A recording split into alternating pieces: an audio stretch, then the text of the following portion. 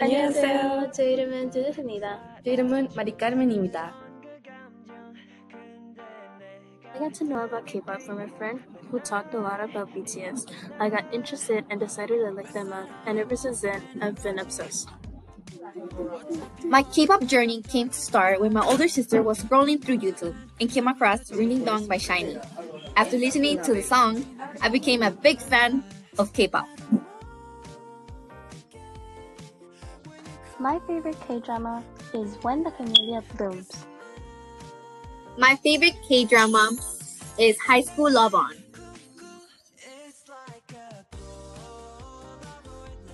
Since I had already taken an interest to the culture, I decided to take a step up and attempt to try and learn the language. So, I signed up to learn Korean in my sophomore year. After knowing that my school offered Korean classes, I signed up for it as fast as I could.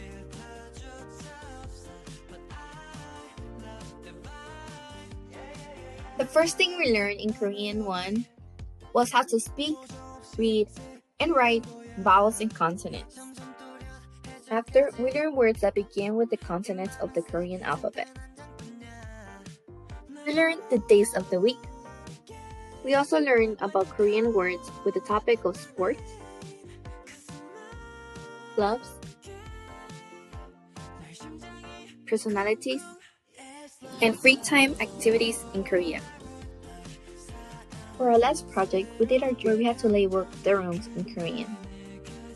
In Korean too, so far we have learned about the different Korean number systems, the seasons and different weather in each season, the basics of fashion, the basic colors, and we are currently learning about food and nutrients. In Korean 2, we learned more about the number system, including the difference between native Korean numbers and Sino-Korean numbers. Here we have four seasons and four weather expressions translated from English to Korean. Here are some basic fashion items that we've learned about this year. Here are a few colors that we've learned. We've also learned about the five nutrients group, which include carbohydrates, tons of hummus, proteins, ambic cheese, minerals, mukiji, vitamins, vitamins, and fats, jibang. This concludes our video. Thank you for watching. I hope you enjoyed our video. Bye bye.